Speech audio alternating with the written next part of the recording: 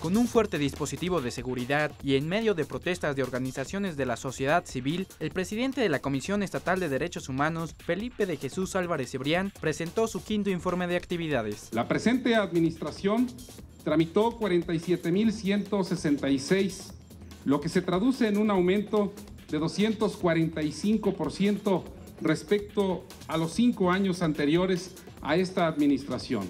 El mayor número de recomendaciones emitidas en la historia de esta institución se alcanzó durante este año, con 60. No se me permitió a mí entrar con el pretexto que no traía invitación. Aunque soy eh, consejero, propietario, fundador de la Comisión Estatal,